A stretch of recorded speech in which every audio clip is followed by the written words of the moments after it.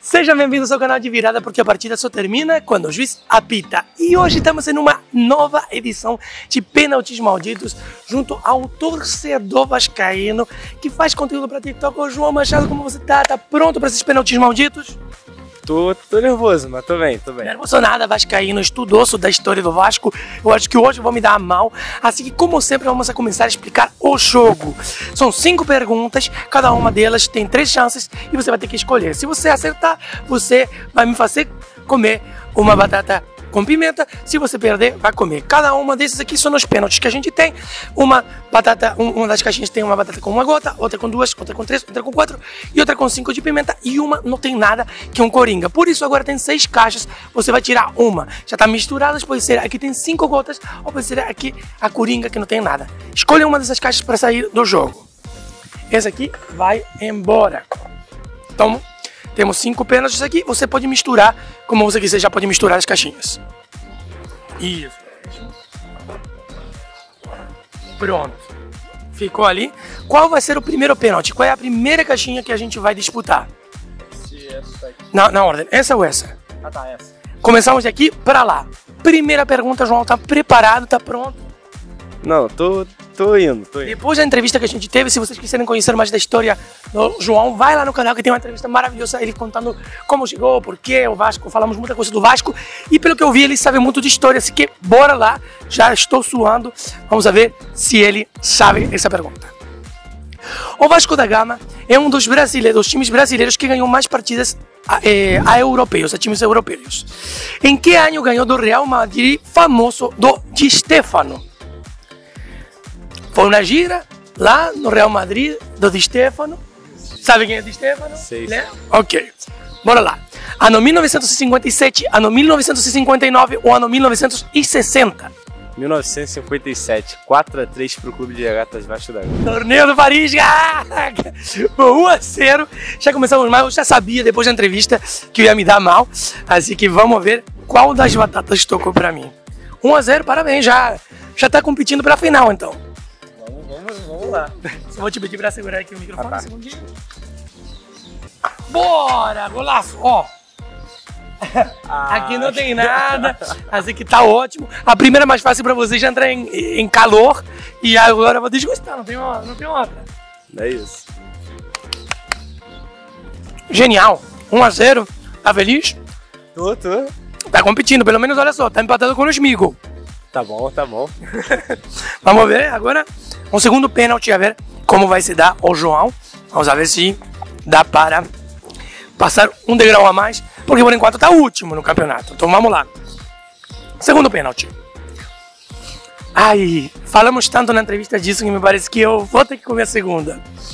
O famoso Vasco do Expresso da Vitória eh, foi liderado por Ademir de Menezes. Quantos gols ele fez no time? 298, 301, 308.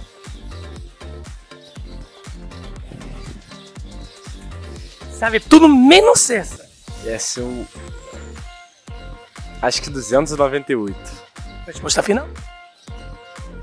É. Errou! Errou, Vasco, olha só, hein? No clássico eh, Flamengo eh, Vasco com Osmigo, ainda tá empatado. Bateu na trave, foram 301 gols, bateu na trave. Agora eu vou te pedir para você degustar o próximo pênalti com todo carinho, um a um para de virada. Olha só. Hum, mostra aqui pra câmera primeiro. Quatro gotinhas, acho que é, mostra aí. Tá ótimo, vá. Sem pensar. Se você pensar, pira. Tá ótimo, pô. Tá gostoso, né? Eu sempre falo isso. Os pênaltis, tipo, as batatas. A a pimenta não é muito forte. O problema é quando você perde duas, três seguidas, que aí. Não, tomara que não aconteça comigo. E outra coisa, a pimenta vem depois, tá? Come e depois cai. É. Tá, tá, tá, tá coçando, né? É, antes estava gostoso, agora tá Agora tá- alimentando. Bora pra, seg- pra terceira pergunta. E os pássaros estão como malucos. Bora lá. Terceira pergunta, você tem que saber essa. Ó a pressão, hein? Ó a pressão. Romário é um dos poucos jogadores em, a chegar à marca de mil gols. Sim, um poucos jogadores no planeta chegando na marca de mil gols. Ele chegou a essa marca em 2007. Contra que time ele fez o gol número mil? Se, se falar sem a opção. Não, não tem, não. Você pode, você- pode falar. Ah, não, eu- Não, não, você pode falar. Se perdeu, come. Se ganhou, acerta. Quer, essa- quer, essa- quer arriscar? Esporte de Recife. A resposta final? É. Gol! Porque, cara, cara, eu, eu, eu misturo perguntas difíceis com perguntas um pouco mais fáceis. A mulher, tipo, Não, essa, essa eu fui no jogo. Eu fui no, Eu não lembro, né? Mas eu meu te levaram. meu Então a história, claro. Bom, também, cara, eu quero ajudar. Ai, não.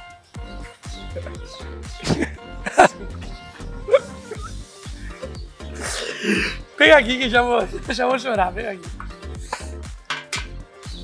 Caralho. Nossa senhora. Bom, pô, é, eu inventei essa merda pra me ferrar, então vou me ferrar mesmo.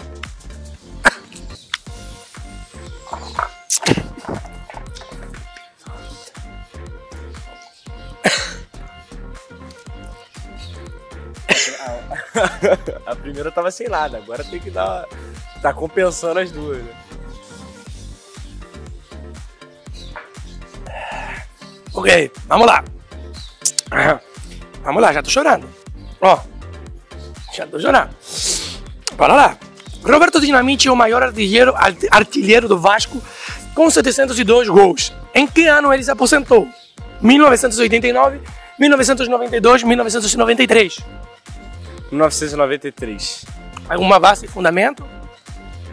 É por causa da camisa. Tem uma camisa. Da camisa do jogo de aposentadoria dele. Tem escrito aqui embaixo Valeu Roberto e é o modelo de 93.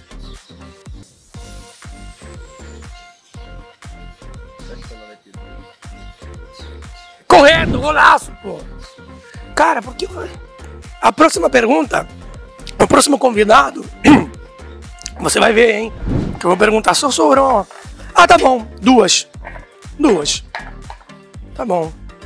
Olhando que a o último pênalti que sobrou é violento pra você. Ah, pode ser o um só, não?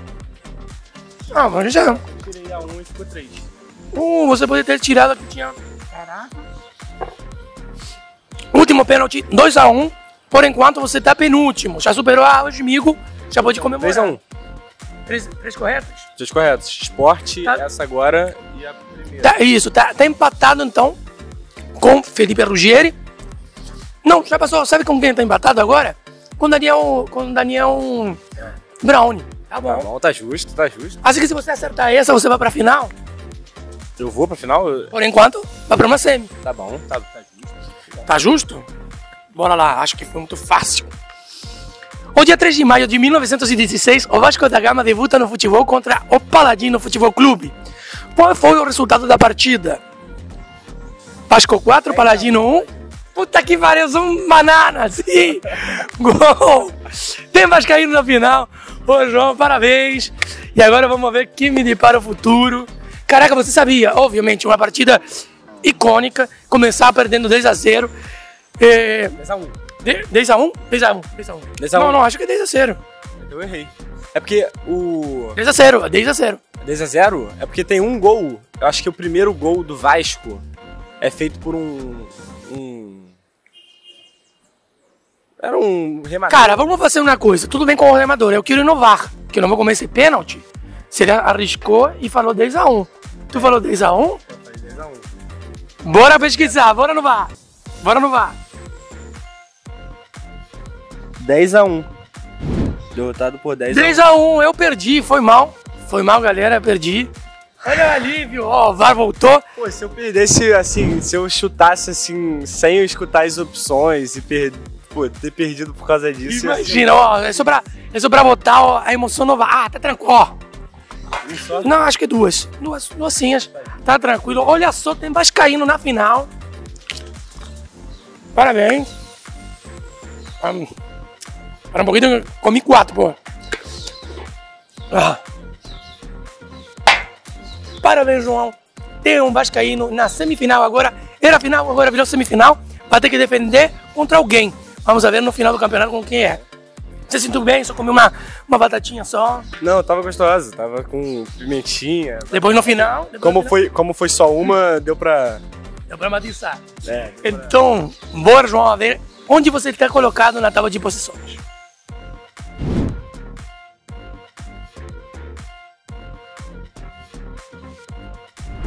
Se sentiu confortável? Achou muito fáceis as perguntas? Teria que ter sido mais incisivo? Eu achei, assim, a do, do, do Ademir eu achei bem difícil, assim, saber exatos quantos gols ele tinha. É, eu achei até que fosse perguntar sobre os gols que ele tinha na Copa de 50. Aí eu sabia. Aí eu, eu, eu ia falar e quando você falou gols pelo Vasco eu não sabia responder. Mas as perguntas foram, foram boas, achei boas, assim. É, é- foi quase uma história do Quem Quer Ser um Milionário. Já li uma vez. É, e aí já E aí, voltou. Igual que, da- igual que da Daniel Bonfim, que também fez o Quem Quer Ser um Milionário. Eu vi, E que ele tá, por enquanto, na semifinal contigo. Se alguém fizer 5 de 5, já está na final. Entendi. Tá. Bom, galera, espero que tenham gostado. Não se perca nos outros pênaltis malditos que temos no canal. Obviamente, não se perca na entrevista que temos com o João. Falando de tudo, como ele começou a fazer comentários lá no TikTok e no Twitter sobre o Vasco da Gama e, obviamente, o canal de YouTube que tem com três amigos. E, obviamente, deixa o chavacinho rapidinho aqui para todo mundo nos despedir. Então me segue lá no, no TikTok, arroba João C. Machado 1898. Também é meu Instagram. É, no Twitter, arroba Machado CRVG 1898, 1898. E no YouTube, Torcedores Calma, que é o canal que eu tenho com mais três amigos vascaínos. É, calma, muita calma nessa hora, porque Ter calma. você vascaíno nesses últimos anos tem que ter calma. Galera, espero que tenham gostado. Deixa todas as informações João na descrição. E nos vemos na próxima. Tchau, tchau.